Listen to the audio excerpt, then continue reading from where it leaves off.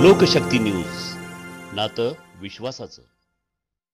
सोलापूर शहर आणि जिल्ह्यामध्ये पक्षवाढीसाठी एमआयएम पक्षातर्फे व्यूहरचना आखली जात आहे. त्याचाच एक भाग म्हणून एमआयएम वाहतूक संघटनेच्या माध्यमातून कर्तव्यदक्ष आणि सामाजिक बांधिलकी जोपासणाऱ्या रिक्षा चालकांची विविध रिक्षा स्टॉपच्या अध्यक्षपदी निवड करण्यात आली आणि त्यांचा पदग्रहण सोहळ्यात सत्कार करण्यात आला.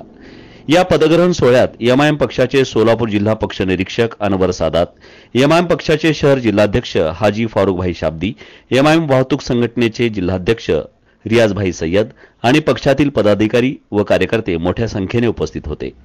या निवड प्रक्रियेत इरफान कल्याणी यांना होडगी रोड परिसर अध्यक्षपदी इस्माईल जमादार यांना सिव्हिल हॉस्पिटल परिसर अध्यक्षपदी चाँद मुजावर यांना रंगभवन परिसर अध्यक्षपदी सय्यद शोएब यांना सिद्धेश्वर पेठ परिसर अध्यक्षपदी, जावेद शेख यांना लक्ष्मी मंडई परिसर अध्यक्षपदी, तर शाहनवाज नदाफ यांना मौलाना आझाद चौक परिसर अध्यक्षपदी स्थान देण्यात आले आहे.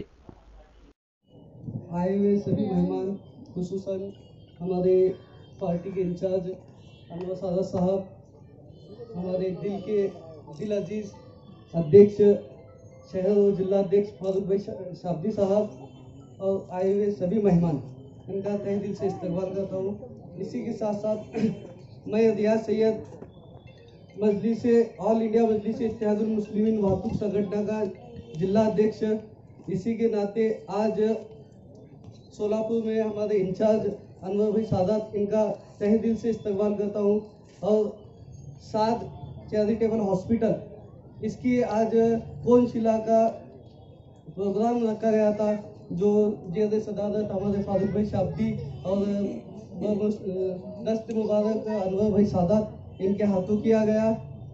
अल्हम्दुलिल्लाह, मुझे बहुत खुशी होती है कि आज मैंने एक हॉस्पिटल की बुनियाद रखी और इसी के साथ साथ मुझे जो पीछे से मजबूती से साथ दिए हमारे फारूक भाई शाब्दी साहब ने, इनका मैं तहे दिल से शुक्रिया अदा करता हूँ। इस हॉस्पिटल का मकसद सिर्फ़ आवाम की खिदमत है, गरीबों की खिदमत है, इसके अलावा कुछ नहीं है। तो मैं सभी से गुजारिश करता हूँ कि इस हॉस्पिटल के लिए दुआएँ करें और अपनी दुआओं से नवाजें। अस्सलाम वालेकुम